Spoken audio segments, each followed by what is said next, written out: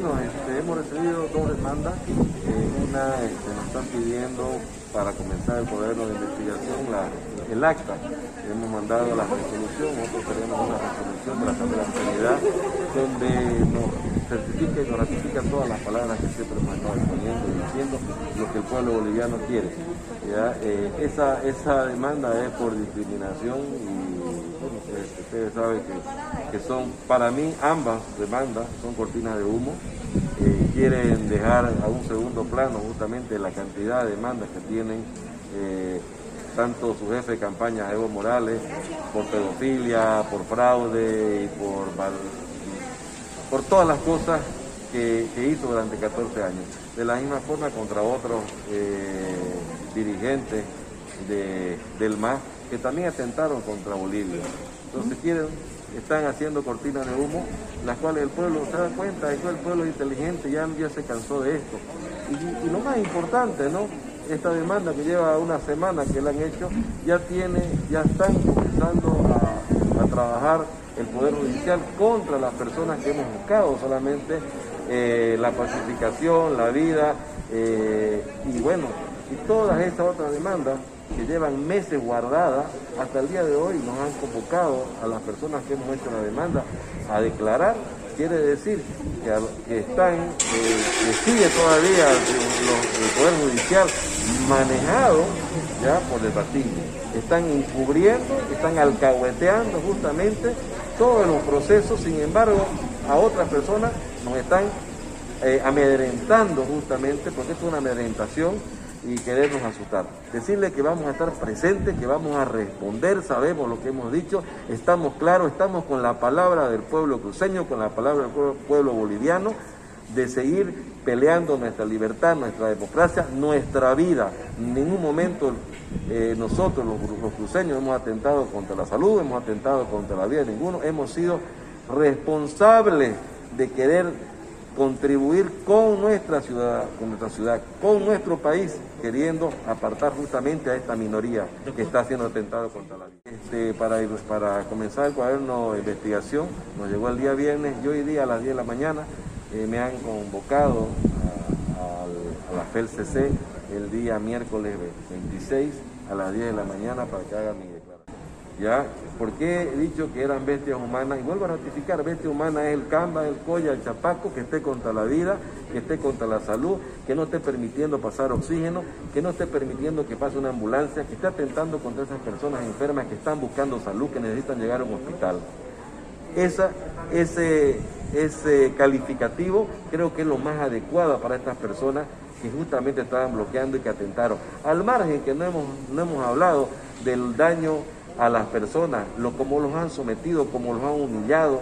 Entonces, hay cosas que debería el Poder Judicial también tomar en cuenta, no solamente justamente a lo que estamos defendiendo eh, estas cosas. Bueno, primeramente queremos decirle no al presidente del Comité Cívico, al señor Rómulo Calvo, que esperemos que se presente el día miércoles.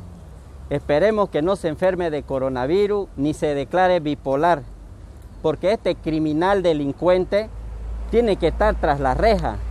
Vamos a, si no se presenta el señor Rómulo Calvo, vamos a pedir mandamiento de aprehensión y vamos a pedir su traslado a la cárcel de Cantomarca de Potosí.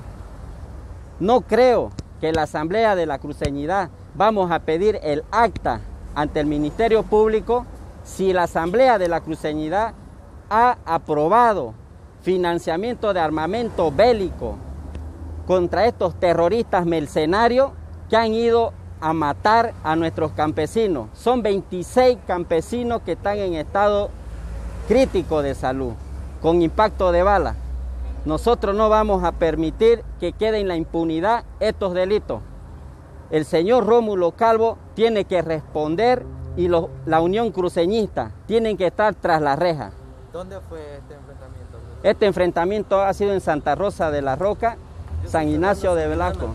Vos sos, vos sos que me San buscabas Ignacio mí. Velasco.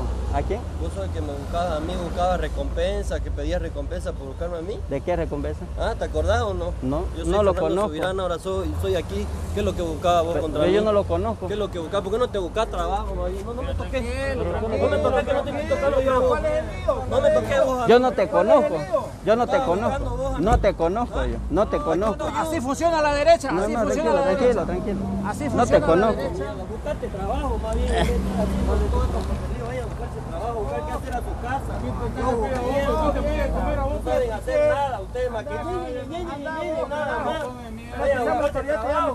carajo. Espera que seamos tres de meter preso. ¿A quién vas a meter Tranquilo. preso vos? Tranquilo. ¿Quién sos vos? ¿Quién sos vos? ¿Quién te cree vos para ¡No me toqué! ¿A quién vas a meter preso? ¿A quién vas a meter preso vos? ¿Quién sos vos? ¿Quién sos vos? ¿A quién vas a meter preso vos? ¿A quién vas a meter preso vos? ¿Quién te cree vos? ¿Quién te cree vos? ¿Pero quién te cree vos? ¿A quién vas a meter preso vos? ¿Ah? ¿A quién te vas a meter preso vos? ¿Por qué no te sacas? La presidenta Yanine Áñez ante todo ha pedido el diálogo, la concertación y lo ha logrado. Creemos que los intentos de la dirigencia del movimiento al socialismo de provocar convulsión co- en confrontación ha quedado en saco roto y creemos de que la población debe valorar estos hechos. Estamos en un tiempo crítico donde tenemos que cuidar ante todo la salud de los bolivianos y también cuidar la democracia. Los delitos que se han cometido con los bloqueos no quedarán en la impunidad, porque existe el principio de la presunción de inocencia, pero también se debe dar con los responsables intelectuales y materiales de tal atentado. Las vidas de las personas que perdieron por falta de oxígeno no pueden quedar en la impunidad. Exigimos a la Fiscalía General del Estado que active, que proteja a la sociedad y al Estado y nos dé los responsables y prosiga con las investigaciones, no, no, no continúe con las dila- dilaciones como el caso del proceso que por el fraude electoral que aún no tiene los responsables. Esta es una muestra clara de que la justicia actúa con rapidez para algunos y con lentitud para otros. Lo digo porque personalmente hice una denuncia hace dos semanas contra el señor Evo Morales porque era el principal autor de incitador de todos los bloqueos que hubieron en el país. Hasta la fecha no hemos visto y no nos han presentado absolutamente a nadie de los bloqueadores que en la vida real en esos 12 días de bloqueo se llevaron más de 40 vidas por no permitir la transitividad de un departamento a otro. Sin embargo, hemos visto que con mucha rapidez eh, citan al presidente del comité cívico, quien más bien representó la voz del pueblo cruceño queriendo desbloquear, porque era muy importante tener las vías libres. Obviamente toda esta guerra que se ha desatado es por falta de gobernabilidad y de asumir su responsabilidad del gobierno nacional, quien la constitución política del Estado le da la responsabilidad de tener que desbloquear todo el país. Y vemos un Ministerio Público, una Fiscalía General servil, totalmente respondiendo a su padrino político, el señor Evo Morales, desde Buenos Aires, que es prácticamente quien ha dado todas las instrucciones de sedición y de separatismo y de bloqueo en nuestro país. que el Consejo haga su trabajo desde el punto de vista legal. Entonces, vamos a estar atentos y el Consejo tiene que actuar.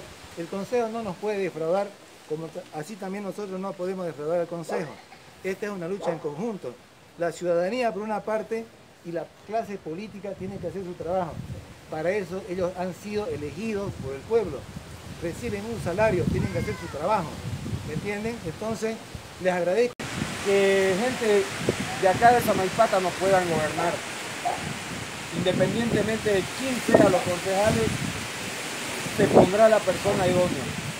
Ahorita la lucha está, está enfocada en que en pedir la renuncia de Claudio López y bueno, el objetivo es ese. Lamentar el, Thank